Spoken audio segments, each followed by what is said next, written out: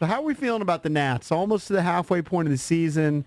Obviously disappointing start, and they're way back in the division, but they found themselves right back in the wild card mix. Yeah, I kind of uh, was thinking about this a little bit after after the game Sunday, and just you know, this looks like the team that um, you know, that, that we kind of predicted before the season, and just the way that they've kind of been playing uh, the lineup on most nights um, that are that are playing you know, having career best years between Rendon and, and Soto is, is kind of heated back up. And uh, Adam Eaton's picked it back up lately, and, and obviously Howie Kendrick, uh, Brian Dozier's picked it up lately, and it's just the lineup is just is kind of a, a, a menace to go through. Um, the starting pitching, obviously, the guys at the top of the rotation are, are, are what they are, and then Anibal Sanchez um, has picked it up, and I just think that you know, and even the bullpen is, is, is been for the most part a little bit more competent the past couple of weeks. It just feels like this is this is kind of what we all saw uh, before the beginning of the year, and it makes it um, you know, I, I've been kind of wondering, is it going to be too late? And have they dug themselves in too big of a hole? And I think that that's kind of the biggest question I have. You know, this stretch coming up, they've really got to beat up on these teams. I think that um, are out of contention here to really try to make up some of that ground somewhat quickly here, because um, even though they are, they are kind of a little bit right there in the wild card race. There are a bunch of teams jumbled up there, and you don't want to, um, you know, find yourself having to jump four or five or six teams really just to get into the race uh, if you go through the last couple of months of the season or so. So I don't know. I feel a lot better about the Nats. I feel like this team is starting to put things together. Um, but I still just kind of wonder, is it is it going to be too late in the long run? Because they have to go on a pretty big run here uh, to make up some of that ground. It could be too late, but at least they're making it interesting. Thank God. Yeah. Um, and, and, and you know, as you mentioned, the hitting's picked up, the pitching's picked up, except for the bullpen, right? And the bullpen's better. I mean, it was historically bad for a while. Yeah. It's gotten some better. Um, they finally moved on from Rosenthal, Rosenthal and you know uh, you cover the team. We've met him in spring training. Just a, such a great guy. I hate to see that happen to him, but it had to happen. Now they bring in uh, Rodney. You know, he's 42. Wasn't even pitching that well in the minors. Um, I've been trying to argue with my guys here that it's still an upgrade. I mean, Rosenthal was pitching to a 22 yeah. ERA, so it's still an upgrade.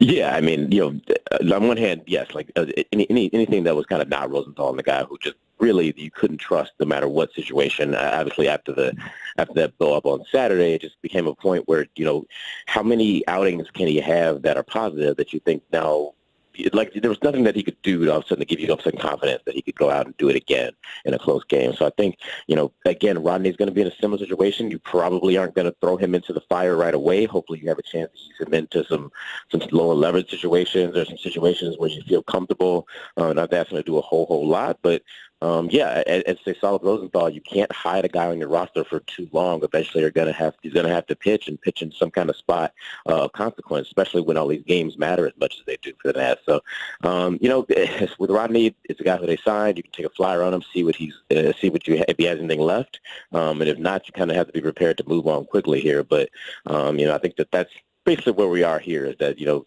they signed a bunch of these veteran relievers here. You may, as, you know, they, they feel like they may as well test them out and see if they have anything left before they kind of go on. The other options they have in the minors, uh, some of the younger guys, some of the, the guys in the uh, in Double A, Triple A right now, you can always kind of go back to the Contos and Burks and stuff. Those guys will be there. Um, aren't going anywhere. Rodney, they kind of had to, to make a move on now. Jamal, do you think Mike Rizzo alters his approach to the bullpen uh, before next season? Spends a little bit more money. I know he splurged a little bit on Rosenthal. That didn't exactly work out. Do you think he, puts pours more assets into the bullpen heading into the 2020 season? Um, that's tough to say. Um, and I and I can't. I haven't. I haven't spoken to him, directly on this, uh, you know, topic at least. Um, I would say that he, probably has to figure out exactly what kind of budget he's working with.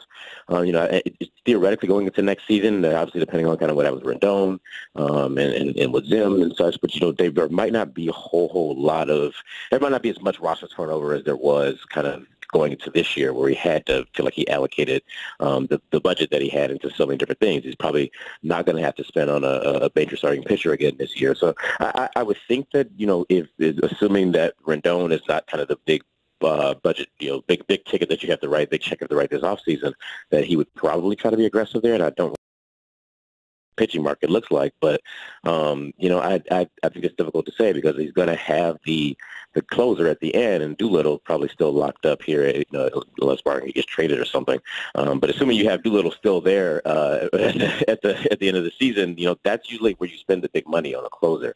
And I don't um, I don't I don't know. I would be like you said, such a change of course uh, for him all of a sudden to big spend a lot of money on a reliever that um, was going to set to back up a little. So um, I don't know. I, I think it'd be interesting to see, but I, I wouldn't. My gut right now tells me I'm not sure that, that that's a thing he definitely did. Joined by Jamal Collier, national beat writer for MLB.com, covers the Nationals. All right, so you mentioned Rendon.